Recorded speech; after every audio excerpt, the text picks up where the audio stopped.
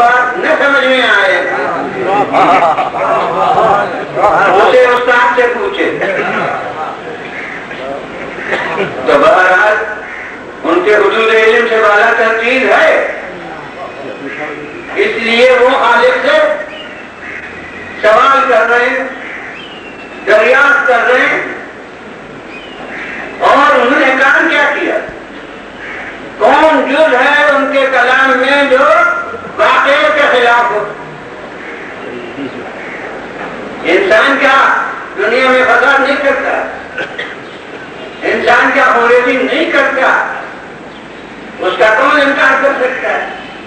فرشتے کیا تصویر نہیں کرتے؟ تردیش نہیں کرتے؟ اس کا کون انکار کر سکتا ہے؟ کلام کا ہر جز مطابق ہے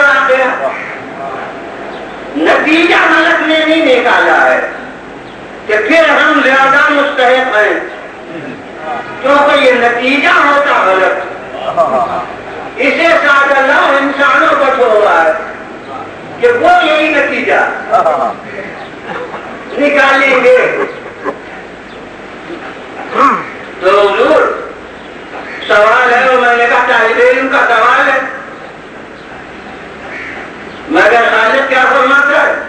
کہ انی عالم مالا میں وہ جانتا ہوں جو تم نہیں جانتے۔ ماشاء اللہ مجمع میں طالب علم بھی ہیں اور استاد بھی ہیں۔ اور کون استاد ہے جو کبھی طالب علم نہ رہا ہو۔ تو میں کہتا ہوں کہ یہ کوئی جواب ہوا۔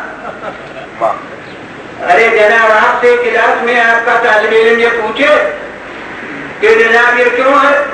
اور ابھی جو میں جانتا ہوں وہ تو نہیں جانتے تو وہ کہے گا اسی سے تو پوچھ رہے ہیں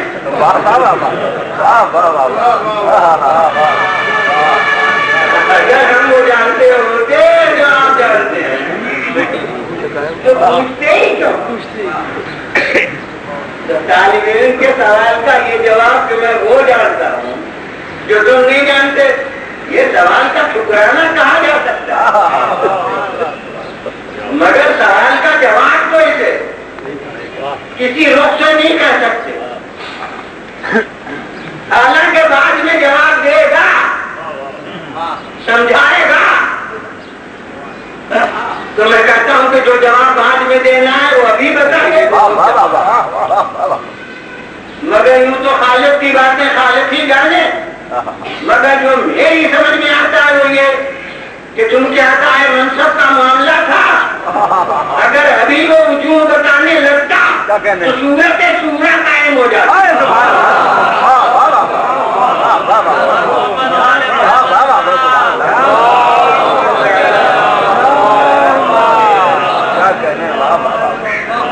لہذا اس وقت جو سوال کیا اس کا جواب یہ دیا کہ میں وہ جانتا ہوں جو تم نہیں جانتے اس کا مطلب میری زبان نہیں ہے کہ منصب میرا مقرر کرنا میرا کام تم کون بس اب یہ ملک کی عصمت ہے کہ فوراً وہ خاموش ہو گیا اپنے گریبان میں منہ ڈالا کہ ہاں اللہ کا منصب ہے ہمیں کیا اس میں دخل دینے کا بس اگر میرا ایسا ناقص انسان وہاں ہوتا تو جم جاتا کہ بغیر سمجھے ہٹیں گے نہیں۔ اب یہ اس کے معصوم ہونے کا سوال تھا۔ مگر اس کے معنی یہ تو نہیں ہے کہ وہ واقعی بات سمجھ گیا، اس کے سوال کا جواب ہو گیا۔ خالد نہیں جانتا ہے کہ ہاں جواب آج میں نے نہیں دیا۔ اور اس لیے اب جب محل ہوا جلدی اسے ہوتی ہے جسے وقت کے نکلنے کا اندیشہ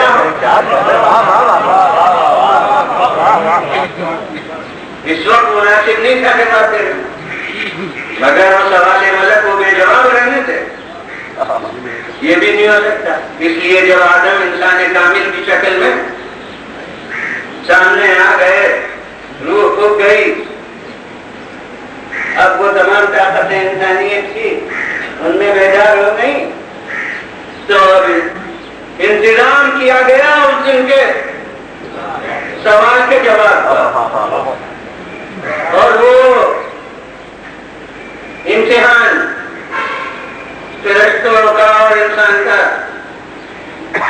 اللہ وہ لیا گیا اور وہ قرآن مجید میں ذکر علم آدم الاسماء فقال انبئوني باسماء هؤلاء ان كنتم صادقين قالوا سبحانك لا علم لنا الا ما علمتنا انك انت العليم الحكيم. آدم کو خالق نے وہ سب نام سکھائے. وہ سب نام. جو میں ترجمہ کروں اس کا ذمہ دار لوگ کہتے ہیں کہ چیہوں کے بھی نام اور مکوروں کے بھی نام اور تو کوئی فرہنگ لغت سکھانا نہیں۔ سیکھا تو علی شاہ میرے نزدیک ہے لکھا ہے؟ تو اب ترجمہ یہی ہے جو میں نے کیا کہ آدم کو وہ سب نام سکھائے ثم عرضهم على الملائكة اب کیا کیا جائے؟ بہت بہت صاحب مفسرین، مگر یہاں مسلحت یہی ہے کہ لفظوں کے معنی سے بے خبر ہو جائیں۔ یہاں مسلحت یہی ہے کہ عربی سے اپنی ناراضیت ظاہر کریں۔ لہذا ترجمہ کریں گے کہ وہ نام پیش کیے۔